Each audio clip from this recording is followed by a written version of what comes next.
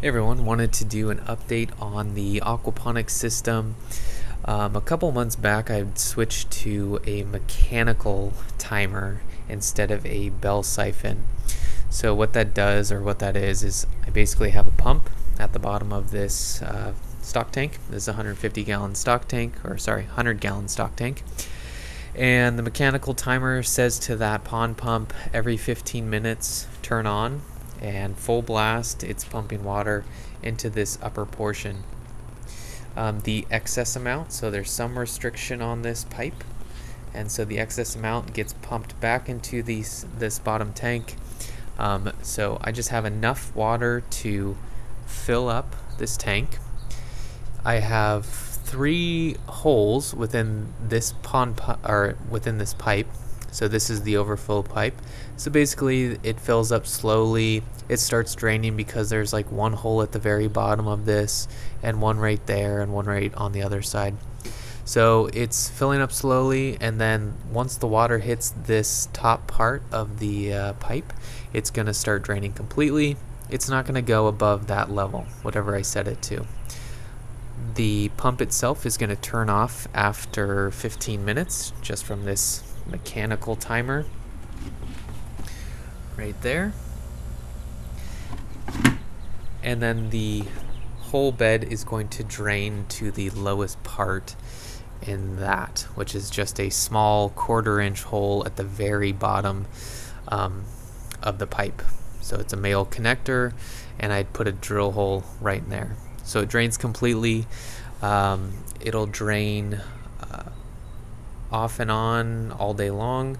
At nighttime, I extend the time that it's off, so maybe I turn it on for 15 minutes, but it's nighttime, so maybe it'll take 30 minutes before it'll fill up again. Don't need to run all the time.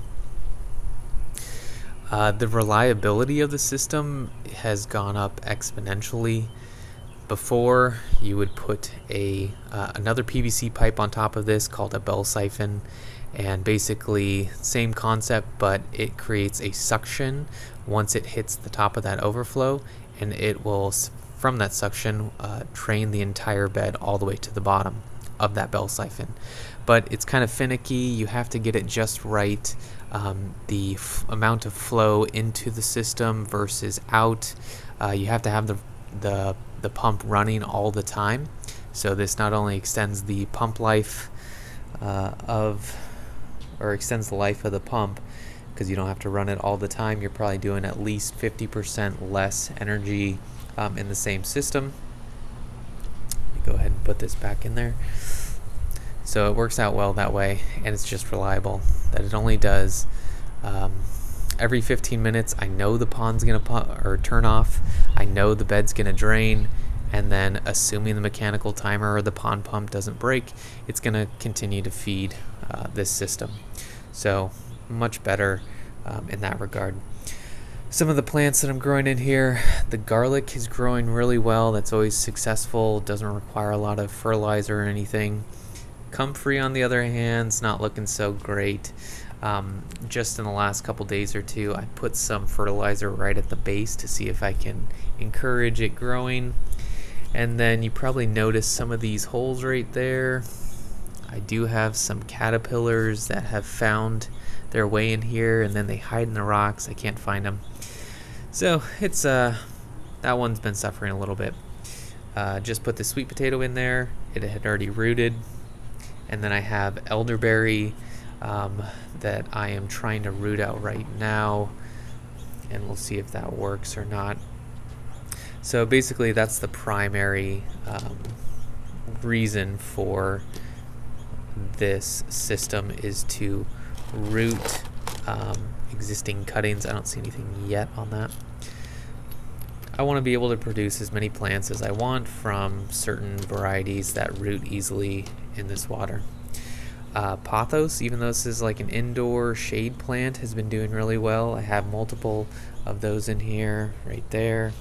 This is either a cucumber or watermelon or melon of some type. That's doing okay. And then we have some tomatoes. Once again, it's getting eating, eaten by some mysterious caterpillars in there. And I've just thrown down some fertilizer to help the system out. I do have a couple small fish in there just for mosquitoes, but it's obviously not enough to uh, fertilize the system like an aquaponic system normally would. So, and here's some more sweet potato. It looks like it needs some fertilizer too because its leaves are starting to yellow. Overall, uh, it's been working really well. I just fill it up every once in a while with some new water, rainwater if I have it, put some fertilizer down, but really don't have to worry about it anymore, which is really nice. In the old days, uh, you're checking every day, make sure the bell siphon's working properly, that the pond pump's not burnt out or whatnot. So, uh, a lot better. With that, thanks for watching, and uh, I'll put some more items out later.